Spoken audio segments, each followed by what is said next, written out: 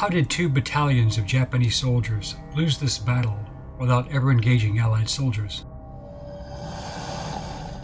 And is this story a wartime myth, or did it really happen?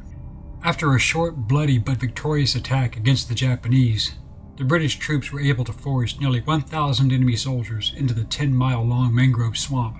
From the stories of the Japanese survivors, a horror story that seemed totally unbelievable unfolded. Statements described the surviving soldiers climbing into the trees, strapping themselves in, sometimes only 10 to 30 feet above the water. Soldiers who were less than 10 to 15 feet above the water were pulled down as the crocodiles, some measuring well over 20 feet in length, leaped upward to grab them, pulling them down. Night and day, without respite for almost a month, as the men starved and died suspended in their harnesses, the terror continued.